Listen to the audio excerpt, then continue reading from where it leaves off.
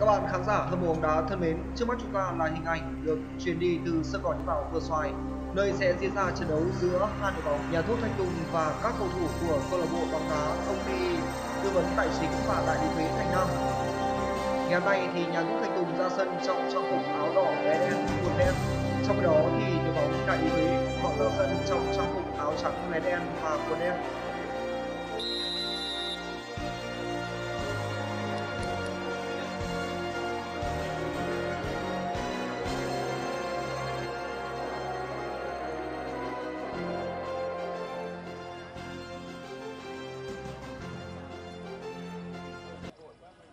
Trên màn hình nhỏ các bạn là đội hình xuất phát của cả hai đội ở trong ngày hôm nay. Bắt chính cho đội bóng nhà thuốc Thanh Tùng đó chính là vị trí của thủ môn Anh Ngọc. Các cầu thủ số 5 Đức Thắng, số 12 Hưng Đạt, số 17 Tiến Trường, số 7 Hồng Quân, số 11 Thanh Tùng và cầu thủ mang áo số 14 đó chính là vị trí của Minh Nghĩa. Trong cái đó thì người chân giữ khung thành cho đại lý thuế ở trong trận đấu này đó chính là thủ môn Công Nam. Các cầu thủ số 2 Anh Tiến, số 9 Đức Thịnh, số 98 Văn Đức, số 10 Thành Trung, số 8 Văn Toàn và cầu thủ mang áo số 56 đó chính là vị trí của Ngọc Linh. Ở trong hiệp một trận đấu này thì nhà thuốc Thanh Tùng sẽ là những người bảo vệ vào sân bên phía tay trái thu nhìn từ màn nhỏ của các bạn. Và như vậy là hiệp một trận đấu này đã được bắt đầu.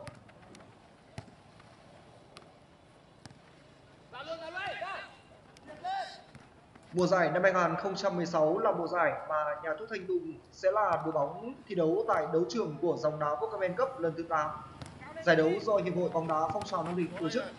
Trong khi đó thì công ty tư vấn tài chính và đại lý thuế Thành Nam cũng chính là một trong số 16 đội sẽ chinh chiến tại sân chơi của Pokemon Cup. Một điều khá thú vị là lá thăm may rủi đã đưa các cầu thủ của đội bóng, nhà thuốc Thanh Tùng cũng như đội bóng đại lý thuế Thành Nam rơi vào bảng B, bảng đấu có sia diện của các cầu thủ bên phía câu lạc bộ bóng đá Q9 cũng như Hải sản Diamond.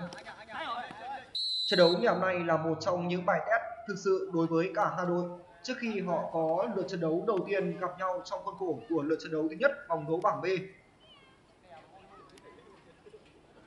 Quả đá phạt đầu tiên dành cho đại lý thuế đang đứng trước bóng đó chính là vị trí của cầu thủ Thành Trung. Rất nguy hiểm. Phán băng lên dứt điểm của Đức Thịnh tại đấu trường của bóng đá không xuyên tỉnh Nam Định, Đức Thịnh là một trong những tên tuổi thành danh. Đội bóng đầu tiên mà anh thi đấu đó chính là câu lạc bộ bóng đá FC Quốc Đà 1 sau đó thì Đức Thịnh cũng đã in dấu ấn của anh qua nhiều màu áo khác nhau. Dòng đá các câu lạc bộ bóng đá phong trào tranh cúp quốc Camen là một trong những giải đấu mà Đức Thịnh cũng đã từng chinh chiến ở mùa giải năm nay thì Đức Thịnh sẽ là một trong những cầu thủ quan trọng và được người ta chờ đợi trong áo của đội bóng đại lý thuế Thành Nam. Vẫn còn không được. Pha treo bóng có chú ý của Văn Đức.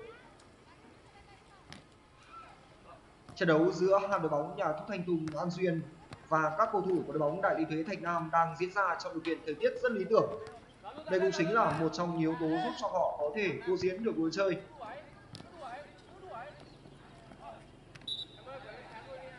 Sau tiếng còi khai cuộc của ông Phan Văn Thắng, hai đội đang chủ động thể hiện lối đá nhanh. Thực hiện lối chơi tấn công ngay từ đầu là một trong những bài vở quan trọng để giúp cho một trong hai đội có thể biến được bàn thắng và vươn lên dẫn trước. Và như vậy là đã có tiếng còi của trọng tài. Vừa rồi thì trọng tài Phan Văn Thắng cho rằng bóng đã đi ra ngoài sân. Tuy nhiên quan sát lại pha làm chậm có vẻ như đó là tình huống mà cầu thủ màu số 14 Minh Nghĩa anh đã tiếp bóng trong sân và quyết định của trọng tài Phan Văn Thắng ở trong đấu vừa rồi có phần không chính xác.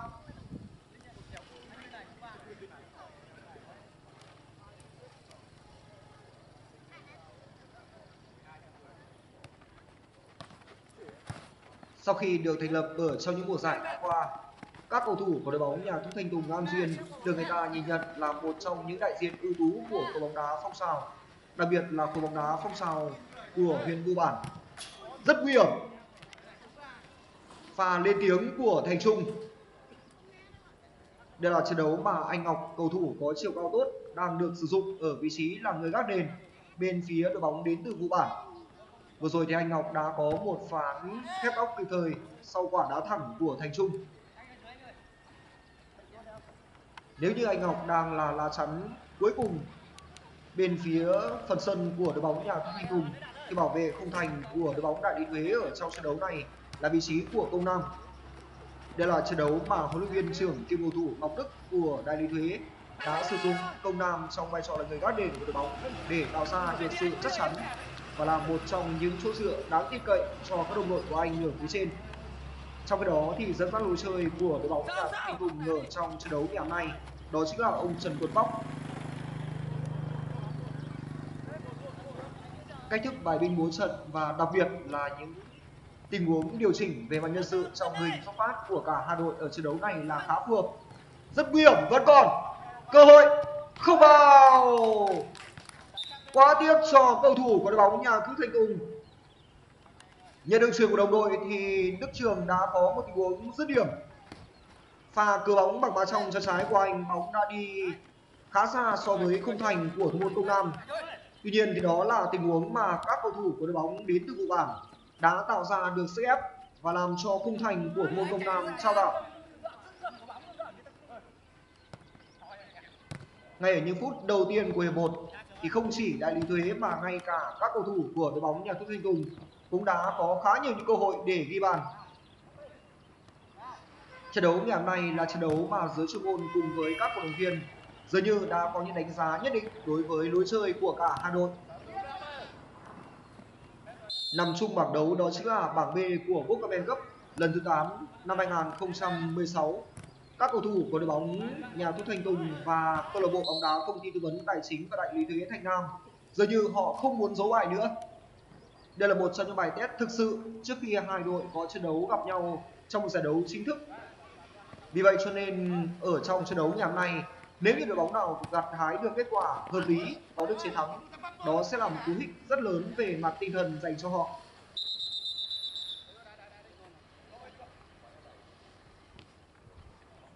Tấn công liên tục trong những phút đã qua, đó cũng chính là hình ảnh mà các cầu thủ của đội bóng nhà thuốc thanh tùng cũng như đại lý thuế thành nam đang thể hiện trên sân.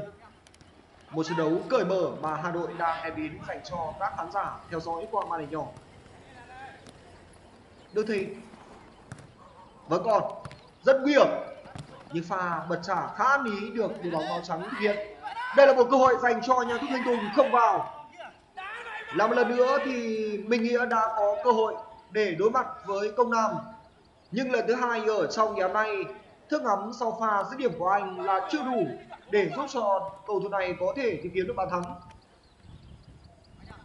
Công nam vẫn đang thi đấu rất hay ngoài việc đang thể hiện được lối chơi tròn vai thì anh vẫn đang có những pha ra vào khá hợp lý. Sự nhạy bén và mặt sáo tốt đã giúp cho công nam luôn giành tư thế chiến thắng trong những tình huống đối mặt với các chân sút của đội bóng đối phương. Thành tùng, vẫn là thành tùng, không được.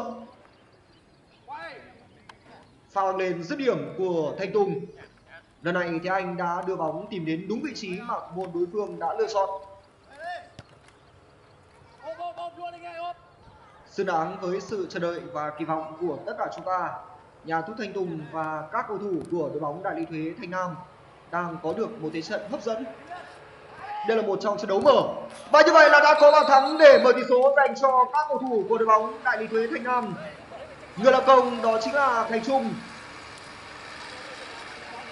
Cầu thủ đã có đường truyền chính xác cho thành trung. Dứt điểm không ai khác đó chính là ngọc linh cựu tiền đạo của câu lạc bộ bóng đá nam định đã có một phán xử lý rất ấn tượng. Khi mà anh đã đi bóng sâu xuống phía hành lang cánh phải thường tấn công của đội bóng đại lý thanh nam. Sau đó thì bất ngờ có một pha trả bóng ngược trở lại để cho thành trung làm nốt nhiệm vụ còn lại là ghi bàn và giúp cho các cầu thủ áo trắng vươn lên dẫn trước ở trong hiệp một. Đang có những khó khăn thực sự đối với các cầu thủ của đội bóng nhà quốc thanh tùng ở trong hiệp một của trận đấu. Mặc dù họ cũng đã tạo ra khá nhiều những cơ hội đáng kể bên phần sân của đại lý thuế. Tuy nhiên như vậy là chưa và không đủ để giúp cho đội bóng này có thể tìm kiếm được bàn thắng. Nhưng người ta vẫn đang hy vọng vào lối chơi dành cho các cầu thủ của đội bóng nhà quốc thanh tùng. Bởi chỉ có như vậy mới giúp cho họ có thể tạo ra được thế trận áp đảo trước đội bóng đại lý thuế chúng ta cùng xem lại bàn thắng mà thành trung đã có ở trong hiệp đấu thứ nhất.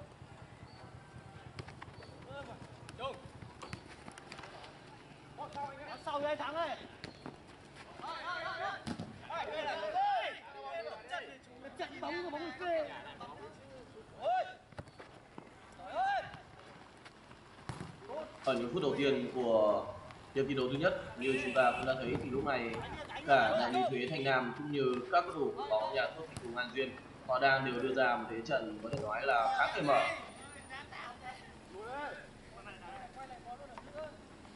Họ đều đang chủ động trong việc duy trì cũng như tạo ra thế trận với những pha bóng tấn công liên tiếp. Đây vẫn đang được nhìn nhận là một trong những trận đấu có thể nói là rất đáng được chờ đợi vào buổi chiều ngày hôm nay khi mà cả đại lý thuế thành nam cũng như fc tùng họ đều đang trình diễn một show diễn quá hay tại sân gọi nhân tạo Versailles và đây là tình huống phản công cho các cầu thủ bóng đại lý thuế không được. Vừa rồi làm pha bóng thi đấu lăn xả của trung vệ đội trưởng thanh tùng. Ngày hôm nay thì trung vệ đội trưởng thanh tùng đang được ông trần tuấn bóc lựa chọn là tấm lá chắn ngay trước mặt khung thành của thủ môn anh ngọc và ở trận đấu này thì Thanh Tùng vẫn đang là cầu thủ đeo tấm bằng đội trưởng trong màu áo của bóng nhà thuốc Thanh Tùng An Duyên và anh vẫn đang chứng tỏ mình xứng đáng là thủ lĩnh tinh thần trong lối chơi của các đội bóng áo đỏ đen trước đối thủ của mình, đó là câu lạc bộ bóng đá đại lý thế Thanh Nam.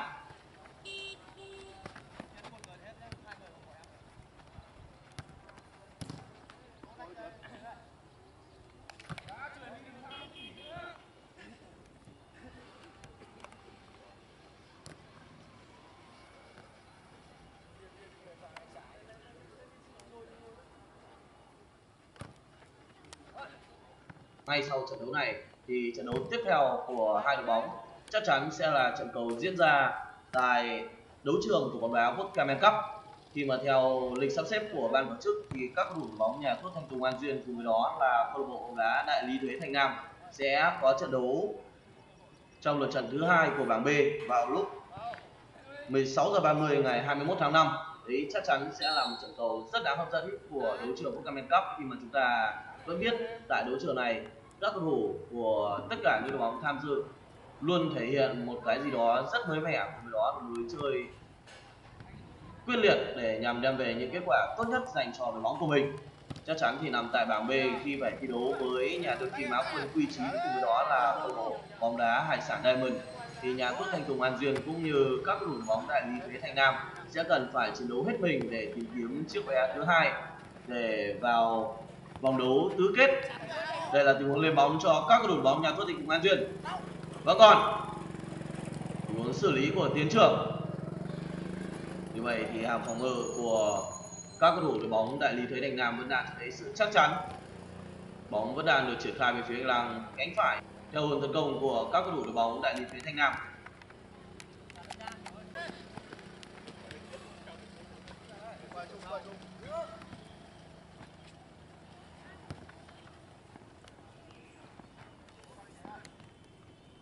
Ngày hôm nay thì chúng ta đang được chứng kiến một màn gõ sức ở khu vực trung tuyến đến với cả đại lý thế thành Nam cũng như các cầu bóng nhà thuốc Thanh Tùng, An Duyên.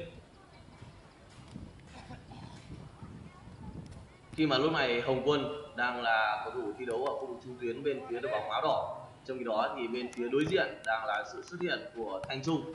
Hai cầu thủ đều có khả năng đá ở khu vực tuyến giữa, có thể nói là rất tốt của cả hai đội trong thời điểm hiện tại.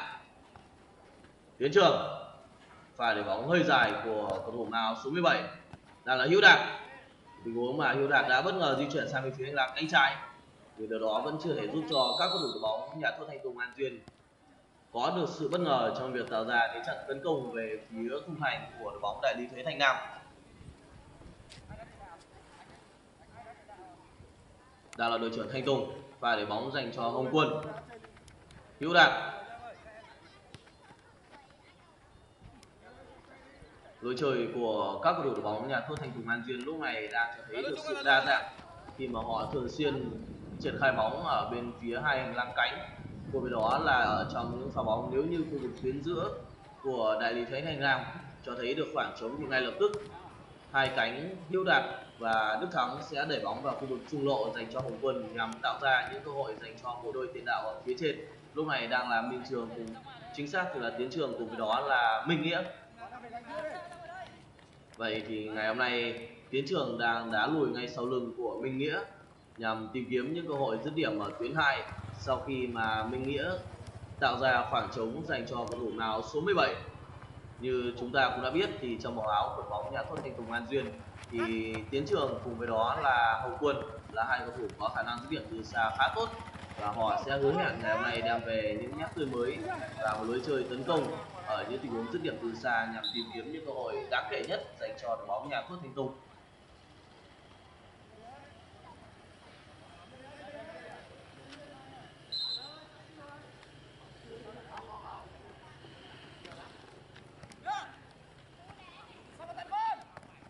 Phút thứ 15 trận đấu giao hữu giữa hai đội bóng nhà thuốc Thanh Tùng, An Duyên và các cầu thủ của đội bóng Đại Lý Thuế. Trên sóng này thì Đại Lý Thuế vẫn đang dẫn trước với tỷ số là 1-0. Bàn thắng được thực hiện do công của Thành Trung. Sau khi phải nhận bàn thua, đội bóng đến từ huyện Vụ Bản đã có khá nhiều những pha dâng cao với những tình huống xử lý bám biên của bộ đôi cầu thủ chạy cánh đó chính là Đức Thắng và đồng đội của anh là Hữu Đạt công bằng mà nói thì ở trong những diễn biến tấn công đã qua các cầu thủ của đội bóng nhà xuất thanh tùng an duyên cũng đã có vô số những cơ hội bên phần sân của đối thủ. Tuy nhiên thì họ vẫn chưa có được bàn thắng. Một trong nhiều yếu tố lý giải cho việc các cầu thủ của đội bóng đại lý thuế thành nam vẫn đang đứng vững, đó là việc đội bóng này luôn có được sự chắc chắn với một hệ thống phòng ngự từ xa hợp lý. Đây rõ ràng là một trận đấu mà không chỉ ngọc linh, ngay cả Văn Đức và Thành Trung cũng đã có quá nhiều những pha bóng lùi sâu về bên phần sân nhà để hỗ trợ cho các đồng đội ở tuyến 1. Trong khi đó thì Đức Thịnh cùng với đồng đội của anh, đó chính là cầu thủ Anh Tiến, vẫn đang thể hiện được lối chơi mang tính trọn vai. Ngoài ra thì Văn Toàn cũng đang có những pha hỗ trợ tấn công khá hiệu quả. Vừa rồi là một pha dứt điểm của Thanh Tùng. Rất nguy hiểm tình huống phát động tấn công rất nhanh của công nam và khá may mắn đó là pha bóng mà thành tùng đã lựa chọn một giải pháp an toàn sau khi anh kịp lui về. Và đây là cú đá của thanh tùng ở tình huống trước đó. Trên màn ảnh, các bạn, đó chính là ông trần tuấn bóc, huấn luyện viên trưởng của câu lạc bộ bóng đá nhà thuốc thanh tùng nam duyên. Có lẽ là vị thuyền trưởng của đội bóng nhà thuốc thanh tùng vẫn đang tỏ ra khá đăm chiều và đang cố gắng nghiên cứu để đưa ra những cú ích về mặt chiến thuật dành cho các học trò Bóng đá huyện Vụ Bản trong những năm gần đây đã có những sự thăng tiến đáng kể. Ngoài câu lạc bộ bóng đá F Season và đặc biệt là ở thời điểm hiện tại, đó chính là thanh niên thị trấn Vôi, thì câu lạc bộ bóng đá nhà thuốc Thanh Vùng An Duyên là một trong những đội bóng đang thực hiện rất tốt công tác xã hóa thể thao quần chúng trên địa bàn của huyện Vụ Bản.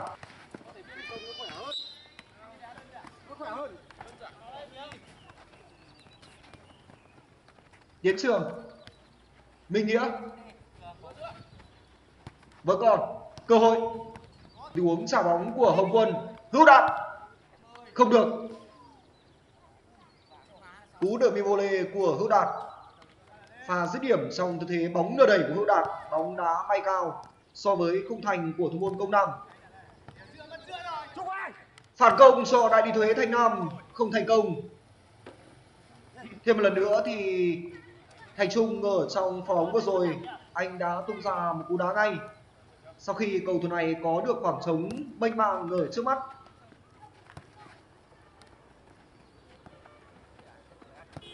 Những đợt tấn công, những pha lên bóng và các tình huống mà đội bóng mỗi bên đã thể hiện ở trong những phút đã qua.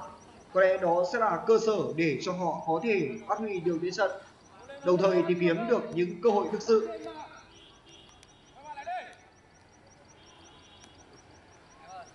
Không quá khó khăn cho từng pha tấn công song đúng là ở trong trận đấu này thì có vẻ như là các cầu thủ của đội bóng nhà Thanh Tùng họ vẫn chưa thể phát huy được không ghi bàn đã có tiếng gọi của trọng tài pha phạm lỗi của đội trưởng Thanh Tùng. Một tình huống rất rõ ràng khi mà trọng tài Phan Văn Thắng đã ngắt còi. Người bị phạm lỗi ở trong tình huống đó chính là vị trí của Ngọc Linh. Ngọc Linh là một trong những cầu thủ thế hệ vàng trong thời kỳ bóng đá bên chuyên của Nam Định. Sau khi giải nghệ tại đấu trường của bóng đá đi cao, Ngọc Linh vẫn đang cho thấy được vai trò và tầm ảnh hưởng của anh tại đấu trường của bóng đá không xuyên. rất nguy hiểm ở trận đấu này thì ban luyện của đội bóng đại lý thuế thanh nam đã xếp ngọc linh đá cao nhất trong mình thi đấu của đội bóng dường như là các chân sút của đội bóng nhà thuốc thanh tùng đang chăm sóc đặc biệt vị trí của ngọc linh. Vì vậy cho nên anh đã có rất nhiều tình huống phải di chuyển dạt biên để thoát khỏi sự đeo bám của các cầu thủ đối phương, đồng thời tạo ra khoảng trống dành cho các đồng đội băng lên từ phía sau. Khi đó thì Ngọc Linh sẽ nắm giữ vai trò là chim mồi của đội bóng đại lý thuế Thanh long và mở ra những cơ hội dành cho các đồng đội. Hữu Đạt thanh Tùng hơn bao giờ hết thì các cầu thủ của đội bóng nhà thuốc Thanh Tùng sẽ cần phải tận dụng những cơ hội mà họ lựa chọn bên phần sân của đối thủ chỉ có như vậy mới giúp cho đội bóng này có thể tìm kiếm được bàn thắng Sa bằng tỷ số ở trong ngày hôm nay là một trong những nhiệm vụ quan trọng đối với các học trò của ông Trần Tuấn Bóc. Rất nguy hiểm. Pha phối hợp tấn công rất điệu đà mà các cầu thủ của đội bóng nhà thu Thanh cùng An Xuyên đã tạo ra. Một cú giật gót của Tiến Trường và sau đó là quả đá ngay của Minh Nghĩa.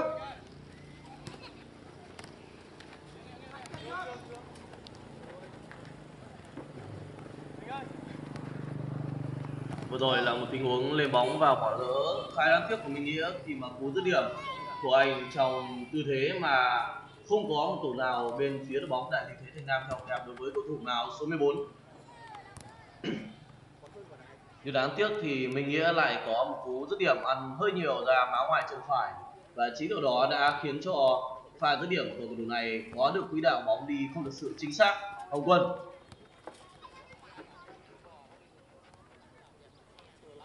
Như tình huống triển khai bóng của các cầu thủ đội bóng nhà thuốc thành tùng lúc này vẫn đang cố gắng để hướng đến vị trí khung thành của môn công nào. Liên tiếc là những pha đánh chặn từ xa chính xác của các đội bóng đại lý Huế thanh nam vẫn còn đưa chơi xuống, không vào. Một pha dứt điểm rất nhanh đến từ vị trí của tiền đạo ngọc linh. Nhưng đáng tiếc cú dứt điểm của anh lại không trúng tâm bóng ở trong tình huống vừa rồi. Một pha bóng mà hữu đạt cũng đã không theo kèm tốt đối với cầu thủ mang áo số 56 bên phía đội bóng đại lý thế Thành Nam và suýt chút nữa thì Ngọc Linh đã có cơ hội để nâng tỷ số của trận đấu cũng như nâng cách biệt dành cho các cầu thủ đội bóng áo trắng đen. Của đường chuyền dài và quả bóng chính xác của trung vệ Anh Tiến. Vẫn đang là những tình huống xử lý bóng rất gọn gàng của các cầu thủ đội bóng đại lý thế Thành Nam. Và điều đó vẫn đang giúp cho đội bóng này kiểm soát được tốt thế trận của mình trước các cầu thủ đội bóng nhà thuốc Thanh Tùng An Duyên chắc chắn thì ở thời điểm này nhà thua Thanh Tùng An Duyên đang phần nào cảm thấy khó khăn trong việc tiếp cận khung thành của đối thủ? Bởi đang ở thời điểm mà các thủ bóng đại lý thế Thanh Nam họ có được cái trận đánh chặn từ xa quá tốt, khi mà chúng ta đã thấy ở ngay tuyến tiền vệ của đội bóng áo trắng đen họ đã có được những pha đánh chặn để giảm đi sức ép đến với hàng phòng ngự bên phía đội bóng này. Tiến trường và giảm bóng lại cho đội trưởng Thanh Tùng một đường chuyền dài. Rồi không được?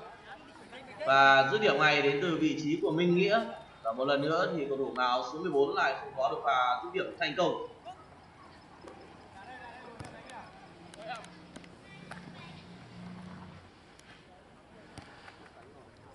Nếu như để mà nói thì không phải là các cầu thủ bóng nhà thuốc thanh tùng không có cơ hội. Thậm chí những cơ hội đến với họ còn nhiều hơn so với đối thủ. Nhưng điều mà đang khiến cho đội bóng này không có được bàn thắng đó chính là việc họ không thể tận dụng thành công cũng như chưa có được những cú dứt điểm có độ chuẩn xác cao nhất. Thời gian của hiệp một thì vẫn đang cứ trôi đi, khi mà đây đang là khoảng thời gian cuối của hiệp thi đấu thứ nhất. Nhưng các thủ đội bóng nhà thuốc thanh tùng họ lại chưa thể tìm kiếm được bàn thắng san hòa.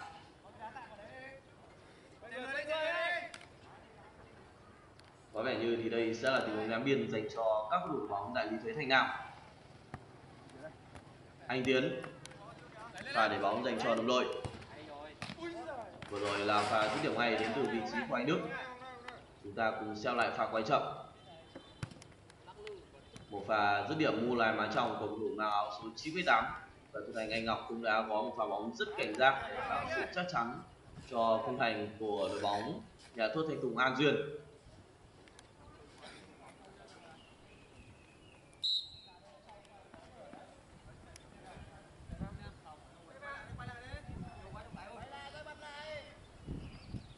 Đường chờ bóng rất nguy hiểm.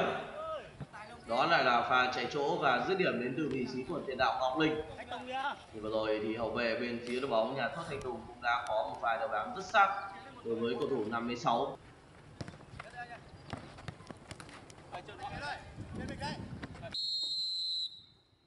và như vậy thì tiếng còi kết thúc hiệp thi đấu thứ nhất của đối đầu giữa hai đội bóng đại lý thế Thành Nam và các cầu thủ đội bóng nhà thuốc Thanh Tùng An Dương đã được cất lên tỷ số sau khi khép lại hiệp một, lúc này đang là một không, tạm nghiêng về phía các cầu thủ đội bóng đại lý thế Thành Nam.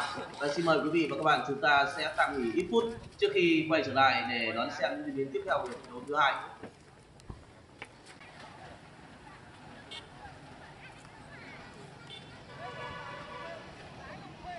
Xin mời quý vị và các bạn tiếp tục trở lại với sân cỏ nhân tạo vừa xoài để chúng ta cùng dự khán tiếp hiệp đấu thứ hai trận đấu trong khuôn khổ giao hữu giữa hai đội bóng nhà thuốc Thanh Tùng An Duyên và các cầu thủ của đội bóng Đại lý Thuế Thanh Nam. Hiệp một của trận đấu này đã diễn ra quá hay và nó đã khép lại với tỷ số là 1-0 nghiêng về phía các cầu thủ của đội bóng Đại lý Thuế Thanh Nam. Bàn thắng được thực hiện ở phút thứ 10 do công của Thành Trung sau tình huống mà Ngọc Linh đã có phương án quét vào hành lang cánh phải của các cầu thủ bên phía đội bóng nhà Thuốc Thanh Tùng. Sau đó anh đưa ra một cú trả bóng để cho Thành Trung băng lên dứt điểm ở phía sau. Tình huống tấn công dành cho nhà Thuốc Thanh Tùng rất nguy hiểm và như vậy là đã có bàn thắng để sa bằng tỷ số dành cho các cầu thủ của đội bóng nhà Thuốc Thanh Tùng. Một pha lập công rất ấn tượng của Hồng Quân. Đã có những lỗi kỹ thuật nơi hàng phòng ngự của đội bóng Đại lý Thuế Thành Nam khi mà họ đã bỏ ngỏ để cho Hồng Quân băng lên trong tư thế rất thoải mái và tiếp cận khung thành của thủ môn Công Nam, sau đó thực hiện một pha đánh đầu để sa bằng tỷ số ở trong trận đấu hiện tại. Bước vào hiệp đấu thứ hai thì cả hai đội đều đã có những sự điều chỉnh về mặt nhân sự. Bên phía nhà thủ thanh tùng an duyên, chúng tôi đã thấy sự góp mặt của cầu thủ đức cảnh.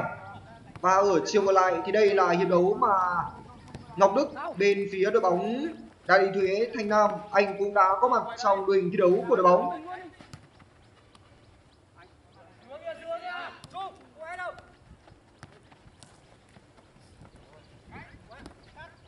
Ở trong hiệp đấu thứ hai thì ban luyện của đội bóng công ty tư vấn tài chính và đại lý thuế Thanh Nam cũng đã tung vào sân vị trí của thủ môn Văn Chiến. Trong hiệp 1 thì Công Nam đã thi đấu tốt và hy vọng rằng với việc có mặt ở trong hiệp đấu thứ hai, Văn Chiến cũng sẽ thể hiện được phong độ cao ở trong trận đấu này. Phạt góc cho đại lý thuế Thanh Nam. Chèo bóng trung lộ, không được. Và cắt bóng của Hồng Quân.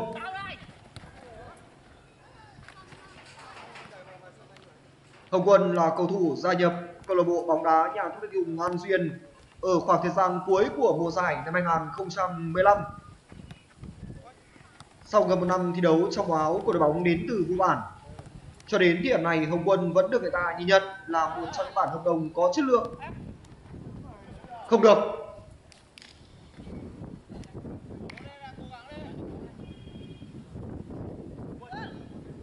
Sau khi đã tạo ra khá nhiều những cơ hội nguy hiểm ở trong hiệp 1 thì ngay ở phút đầu tiên của hiệp đấu thứ hai các cầu thủ của đội bóng nhà thuốc Thanh Tùng đã có được bàn thắng để sa bằng tỷ số. Hồng Quân không thành công. Giải pháp suốt ngày dành cho Hồng Quân.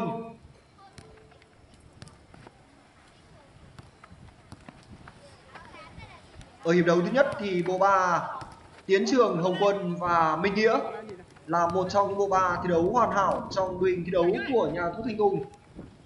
Và ở trong hiệp đấu thứ hai này thì sau khi vào sân, Đức Cảnh sẽ đá chám vào vị trí của Tiến Trường. Đức Thịnh, Thành Trung, rất bình tĩnh. Một pha xử lý tôi nói là khá bình tĩnh của Ban Toàn, rất nguy hiểm. Là là cú đá của Thành Trung. Nếu như các tình huống nguy hiểm đến với đội bóng nhà thuốc thanh cùng An Duyên được xuất phát từ hàng tiền vệ thì đây có lẽ cũng là một trong điều tương tự đến với đội bóng đại lý thuế Thanh Nam. Thành Trung đang thi đấu rất hay. Tại môi trường của bóng đá phủi thì Thành Trung là một trong những cầu thủ trưởng thành rất sớm. Khi mà ở độ tuổi 18 đôi 10 thì anh đã là một trong những vị trí nòng cốt của rất nhiều đội bóng khác nhau. rất nhanh, là là cầu thủ của đội bóng đại lý thuế, vẫn còn cơ hội mở bóng sang cái trái, sút đi, không vào quá tiếc cho đại lý thuế thanh nam, pha dứt điểm của ngọc đức. Ngọc đức đã có một khoảng trống rất lớn, nhưng tình huống cưa bóng cuối cùng của anh bóng đã đi trên con dọc khung thành của thủ môn anh ngọc. Đã bắt đầu có những câu trả lời đến từ phía cả hai đội bóng, và đó là những pha bóng đầy ấn tượng. Trái ngược với những trận đấu đã qua mà chúng tôi đã gửi tới quý vị và các bạn qua màn hình nhỏ. Thì ở trong ngày hôm nay, các cầu thủ của đội bóng nhà thuốc thành tùng an xuyên cũng như đại lý thuế thanh nam đang có được một lối chơi tấn công có ý đồ chuyên môn khá vững vàng. Họ đang lựa chọn rất nhiều những tình huống sút xa, những cú đá cầu may nhằm khai thác hàng phòng ngự của đội bóng đối phương đặc biệt là với những tình huống sút xa như vậy họ sẽ có cơ hội để tạo ra được sự bất ngờ.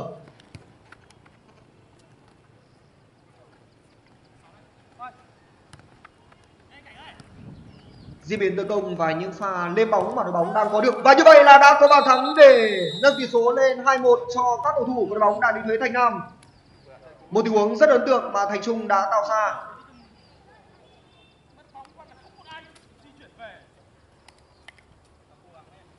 Sau khi có một tình huống hãm bóng thì Thành Trung đã chủ động thực hiện một động tác vặn mình sau đó tung ra một cú đá và đưa bóng đội góc vào khung thành của thủ môn đối phương Như vậy là ở trận đấu này thì Thành Trung đã hoàn tất cú đúc. Hai bàn thắng được nhìn nhận là đến khá bất ngờ, dành cho tiền vệ bên phía đội bóng áo trắng. Một trận đấu tuyệt vời dành cho cá nhân của anh.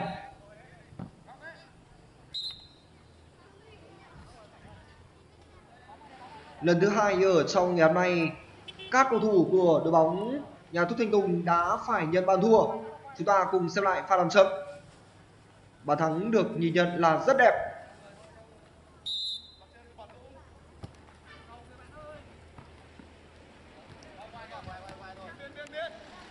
những diễn biến tấn công và những pha lên bóng của họ có lẽ đó chính là yếu tố để cho các cầu thủ của đội bóng nhà tốt thành công an duyên có thể đảm bảo được thế trận và tìm kiếm thêm những cơ hội rất nguy hiểm. Vừa rồi là một pha chào bóng vào trong của cầu thủ đức cảnh. Đã có lỗi của cầu thủ bên phía đội bóng đại lý thuế thanh nam. Vừa rồi là một tình huống phạm lỗi của cầu thủ anh tiến.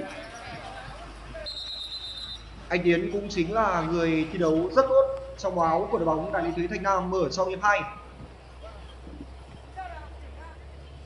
Dưới màu áo của nhà thuốc thanh tùng thì đức cảnh, ngoài việc được người ta nhìn nhận là một trong những tiền vệ thi đấu sáng tạo và linh hoạt, anh còn là một trong những cầu thủ có nền tảng thể lực rất sung mãn. Rất khó để cho các cầu thủ đối phương có thể kèm được cầu thủ này, đặc biệt là trong cái tình huống đua tốc độ. Bóng đang lừa xôn phản công cho đội bóng đang đi thuế. Không được.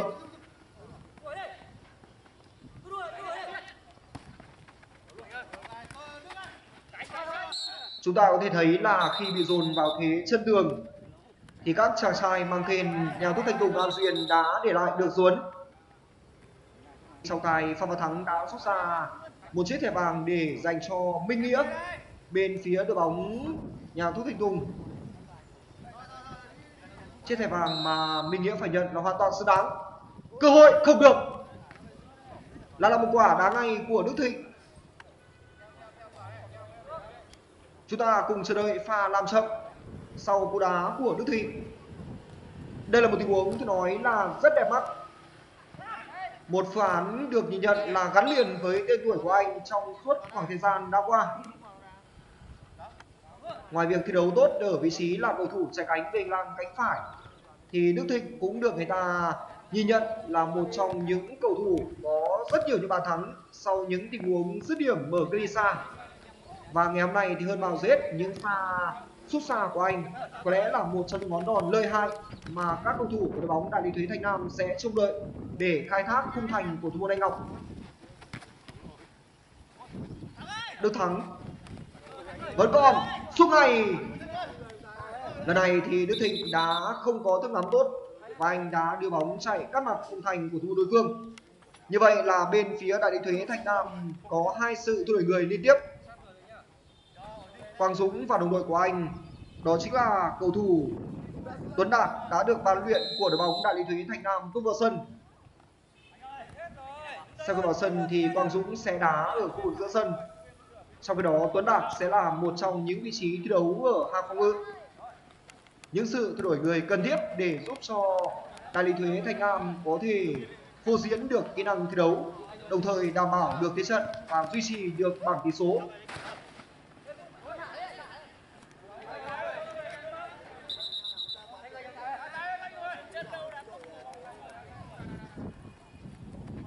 Như vậy thì lúc này bên phía các cầu thủ của đội bóng, nhà thuốc Thanh Tùng An Duyên, họ cũng đã có sự thay đổi về mặt nhân sự nhưng mà Đình Hà, anh cũng đã vào sân để thay thế cho vị trí của hậu vệ cánh trái Đức Thắng.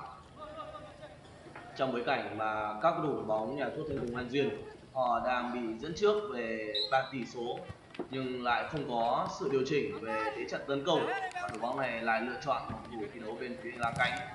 Có lẽ thì ở những phút tiếp theo, dựa vào khả năng lên biên tốt của Đình Hà, thì các cầu thủ bóng nhà thuốc Thanh Tùng An Duyên họ sẽ hướng đến những pha đánh biên nhiều hơn về phía khung thành của bóng đại lý thuế Thanh Nam. Bóng vẫn đang trong chân của các đội bóng áo trắng. Vừa rồi là pha xử lý có phần khá bất ngờ của cầu thủ Quang Dũng. Thủ thành Anh Ngọc đã bị trượt chân ở trong tình huống đá quà và lúc này thì thủ thành đang, thủ thành số 1 bên phía đội bóng áo đỏ đang có những bước đi tập tễnh. Có vẻ như thì thủ thành anh Ngọc đã không có được một pha giữ trụ tốt, chính vì thế thì anh đã tự bị đau ở trong pha bóng trước đó. Chúng ta đang xem lại pha quay chậm ở cú đá phạt của cầu thủ Đức Thịnh. Những cột những khuôn mặt có phần khá rạng rỡ của các thủ bên phía đội bóng đại lý thuế Thành Nam. Lúc này thì chúng ta đang thấy sự xuất hiện của ông huấn luyện viên trưởng Trần Tuấn Bắc cũng đang vào sân để theo dõi tình hình chấn thương của cầu thủ bên phía đội bóng hồng như vậy thì có lẽ là anh Ngọc sẽ phải rời sân để nhường lại vị trí thành cho đồng đội của anh.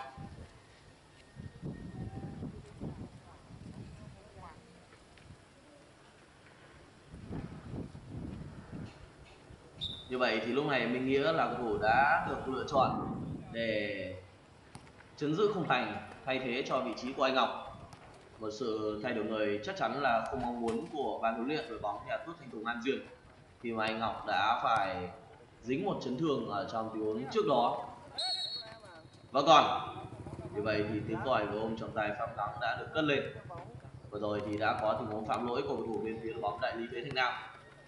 Đinh Hà. Và qua người của Đinh Hà, đường truyền trung lộ. Không được vừa rồi thì vị trí của Đinh Hằng, anh cũng đã không có được pha tiếp bóng một cách tốt nhất. Khi mà cú tiếp bóng ở đây của cầu thủ mạo số 9 đã có phần hơi lộ.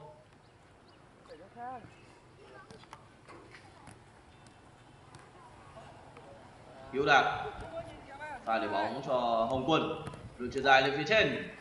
Cái giờ này thì Đình Hằng đã không có được pha chuyền bóng tốt nhất và kèm theo đó cũng là một tình huống đeo bám rất sát đến từ vị trí của trung vệ Anh Tiến.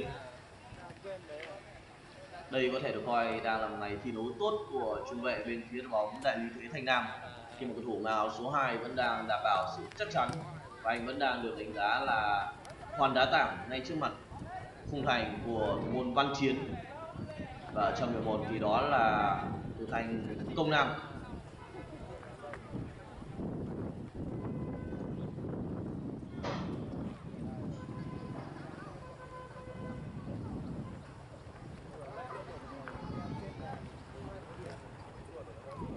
Có lẽ thì đại lý thế thành nam với việc lúc này họ đang có được lợi thế dẫn bàn thì đội bóng áo trắng họ chưa muốn dừng lại, bởi khoảng cách một bàn chưa phải là một khoảng cách gì đó đảm bảo sự an toàn cho kết quả ở trong trận đấu ngày hôm nay trước đối thủ của họ. Chính vì thế thì đội bóng áo trắng vẫn đang tổ chức để áp đặt lối chơi lên các cầu thủ của đội bóng nhà thuốc thanh tùng an duyên.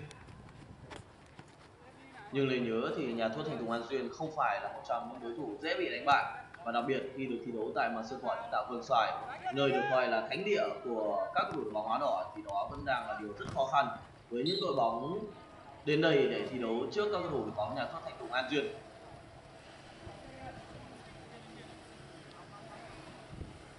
Tiếp tục sẽ có một quả đá phạt góc ở hành lang cánh phải thường tấn công của đội bóng nhà thoát thành công An Duyên. Đang đứng trước bóng là Hồng Quân, mở bóng xanh trái, không được vẫn còn dứt điểm, không vào. Và như vậy là tiếp tục đã có bàn thắng đến với cầu thủ của đội bóng nhà tuyển thành An Duyên. Đây là một pha lập công của Hồng Quân. Ngày hôm nay thì Hồng Quân đã hoàn tất cú đúc trong áo của đội bóng áo đỏ. Chính anh là người thực hiện tình huống đá phạt góc cho các đồng đội ở phía trong.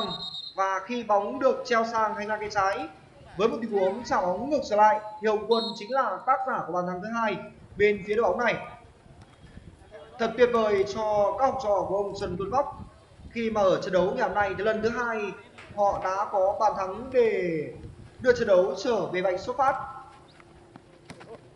Bốn bàn thắng chia đều cho hai đội bóng. Với những pha bóng khá bất ngờ, đã nói lên tất cả cho sự quyết tâm, đặc biệt là những diễn biến và các tình huống. Với những mảng miếng tấn công nhất định mà hai đội đã tạo ra nếu như ở tình huống thủ môn anh Ngọc gặp phải chấn thương đáng tiếc và được ban luyện của đội bóng này thay ra, người ta đã lo lắng về lối chơi cũng như kết quả của đội bóng đến từ vụ bản. Thì pha bóng vừa rồi đã nói lên sự quyết tâm và đặc biệt là sự ly lợm mà các cầu thủ của họ đã có. Và phạm lỗi bên phía các cầu thủ của đội bóng đại lý thuế Thanh Nam và chiếc thẻ vàng tiếp theo đã được trọng tài Phạm Văn Thắng rút ra. Không quá khó khăn cho những đợt tấn công. Tuy nhiên thì cả đại lý thuế, thành Nam và các cầu thủ của đội bóng, nhà thuốc Thanh Tùng ở trong trận đấu này, họ vẫn đang phô diễn được một lối chơi mang tính bản sắc. Lối đá tấn công cởi mở để tạo ra một thế trận đôi công đang được hai đội bóng làm rất tốt theo dõi qua màn ảnh nhỏ, các bạn cũng thấy là cả đại lý thuế thanh nam cũng như nhà thuốc thanh tùng ở trong ngày hôm nay, họ đều đã có một sự chuẩn bị rất chu đáo. Như chúng tôi đã để cùng các bạn thì hai đội bóng này cũng chính là hai đội bóng nằm ở bảng B, dòng đá World Cup lần thứ 8 năm 2016 giải đấu do hiệp hội bóng đá phong trào nam định tổ chức. Ngày hôm nay, nếu như đội bóng nào có được chiến thắng, đó sẽ là một trận cú hích về mặt tinh thần để giúp cho họ có thể vững vàng và đặc biệt là tạo ra niềm tin nơi các cổ động viên trước khi gặp nhau trong khuôn khổ của giải đấu chính thống.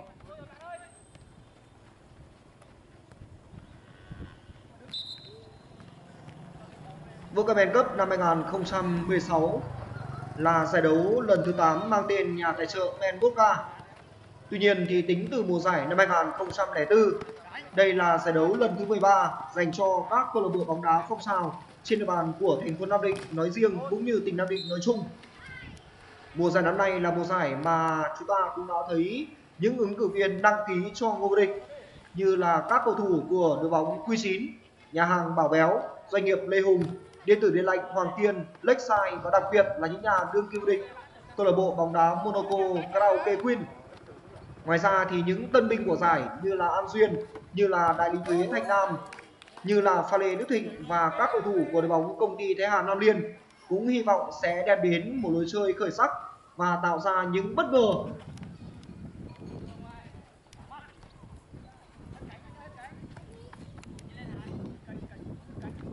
Chắc chắn thì ở mùa giải Vodkamen năm nay với việc mà giải bóng này có thêm được rất nhiều những nhân tố mới thì chúng ta đang chờ đợi một kỳ Vodkamen Cup được nhìn nhận là thành công và hấp dẫn.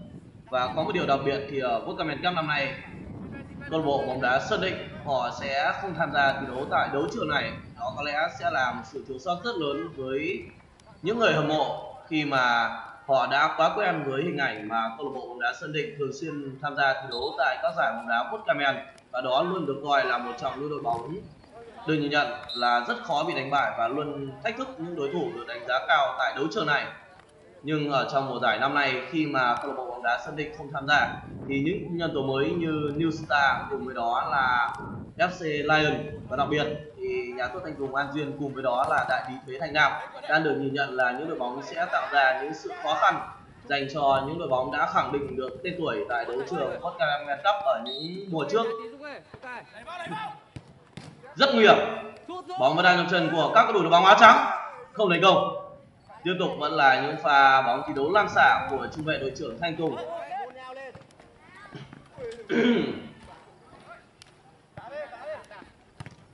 Ngày hôm nay bên phía các cầu thủ đội bóng đại lý Thế Thành Nam có trung vệ Anh Tiến, thì bên phía đội bóng nhà thuốc Thanh Tùng An Duyên cũng đang có sự xuất hiện của trung vệ Thanh Tùng hai mẫu trung vệ hiện đại và đều đang thi đấu có thể nói là rất ấn tượng trong màu áo của cả hai đội bóng ở buổi chiều ngày hôm nay. Như vậy thì thêm một sự thay đổi người nữa đến với các cầu thủ bóng đại lý thuế Thanh Nam. Lúc này thì vị trí của cầu thủ số 56 Ngọc Linh. Anh tiếp tục quay trở lại sân để thay thế cho vị trí của người đồng đội. Lúc này thì ban huấn luyện của đội bóng đại lý thuế thành nam đã không thể ngồi yên và họ đã buộc phải tung tiền đạo ngọc linh quay trở lại để tạo ra những điều gì đó mới mẻ hơn cho hàng công của đội bóng áo trắng ở thời điểm hiện tại. Mặc dù thì vẫn đang cầm chân nhau với tỷ số hòa hai đều, nhưng chắc chắn trong buổi chiều ngày hôm nay cả đại lý thế thành nam cũng như câu lạc bộ bóng đá nhà thuốc thanh cùng an duyên đều không muốn dừng lại với một kết quả hòa. Khi mà nhìn vào những gì mà cái đội họ đang thể hiện được thì cả hai đội đều đang muốn hướng đến một kết quả tốt nhất ở trong trận đấu diễn ra vào buổi chiều ngày hôm nay. Hồng quân, một đơn chuyên dài của hồng quân. Đáng tiếc thì đó lại là một pha cho bóng hơi sâu của cầu thủ nào số 7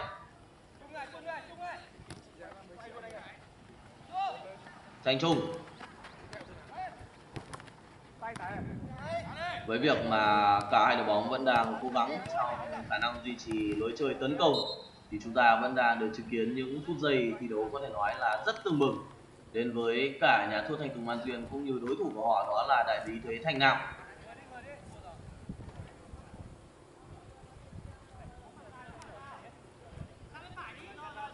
Quý vị các bạn đang theo dõi hiệp đấu thứ hai trận đấu giữa hai đội bóng công ty tư vấn tài chính và đại lý thuế Thanh Nam và các cầu thủ của đội bóng nhà thuốc Thanh Tùng An Duyên, đội bóng đến từ huyện Vũ Bản.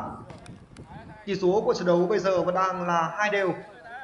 Đây là trận đấu mà các cầu thủ của đội bóng nhà thuốc Thanh Tùng An Duyên đã hai lần để cho đội bóng đối phương vươn lên tới trước.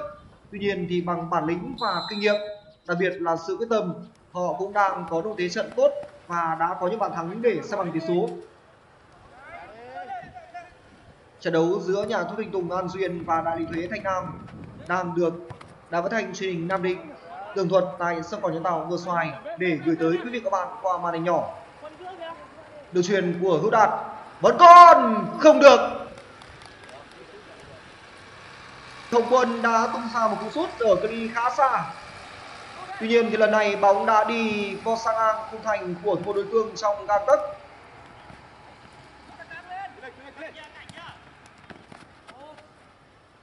Có thể nói là mặc dù kết quả của trận đấu ngày hôm nay có khép lại như thế nào đi chăng nữa, thì đây cũng được nhìn nhận là một trong những trận đấu thành công về mặt lối chơi đối với cả hai đội. Đại lý thuế, Thành Nam cũng như nhà thuốc thanh hùng An Duyên đều đã thể hiện và phô diễn được sức mạnh. Và với những gì mà họ đã để lại trong trận đấu này, thì các cổ động viên hoàn toàn có thể yên tâm khi mà hai đội sẽ tham gia chinh chiến tại đấu trường World Cup lần thứ 8 năm 2016 tại bảng B thì sự kịch tính và người ta sẽ chờ đợi vào những màn trình diễn gây ấn tượng mà các cầu thủ của cả Hà Nội sẽ đem tới trước các đội bóng được đánh giá là trên cơ như là đức kim á quân Q9 cũng như Hải sản Diamond. Rất nhanh. Một câu trả lời dành cho đại lý thuế Thanh Nam.